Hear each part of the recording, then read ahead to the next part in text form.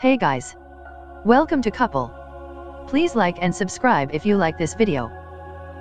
President Trump on Tuesday lashed out at Representative Maxine Waters as one of the most corrupt people in politics while arguing the outspoken liberal is becoming the face of the Democratic Party as the midterm elections heat up.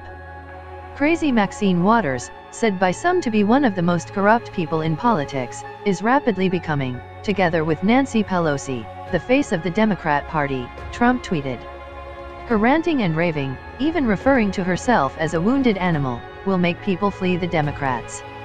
Waters, D. California, who has repeatedly called for Trump's impeachment, has not backed down from her comments calling for people to confront members of the Trump administration at gas stations and anywhere else they're seen in public.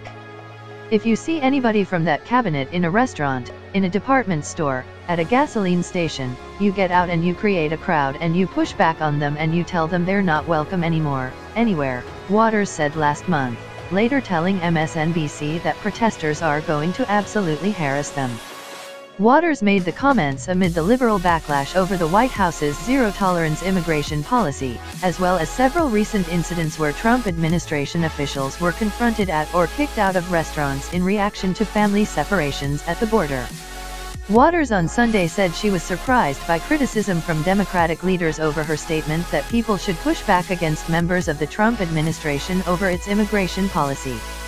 One of the things I recognize, being an elected official, is in the final analysis, leadership will do anything that they think is necessary to protect their leadership and so what I have to do is not focus on them, Waters told MSNBC.